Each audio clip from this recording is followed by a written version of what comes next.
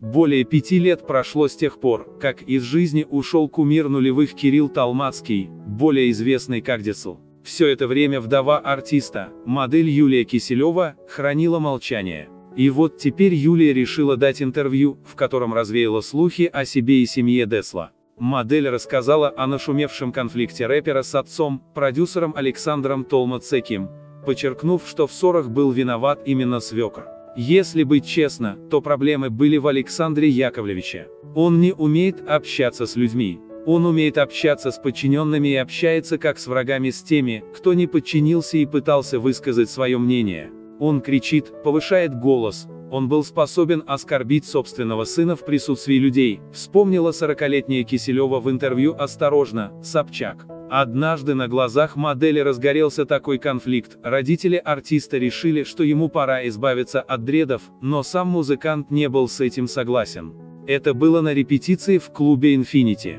Мне кажется, в тот день я попала в списки ненужных людей. Родители пытались заставить Кирилла развязать дреды. На их взгляд, ему нужно было репетировать с распущенными волосами. Сейчас это звучит, наверное, как абсурд. Мама его просила. Папа, но Кирилл не сдавался. Суть была в том, чтобы заставить человека делать так, как сказано. Наверное, они надеялись, что я стану хорошим рычагом для управления вышедшим из-под контроля мальчиком. А я, к сожалению, не была достаточно умной и сказала, «Ну подождите, пусть он сам решает», отметила Юлия. Что касается Александра Талмацкого, то он негативно относился к невестке и даже считал ее виноватой в скоропостижной смерти сына. Ему надо было раньше уходить от этой девушки. Просто я знаю, что она писала моей бывшей жене.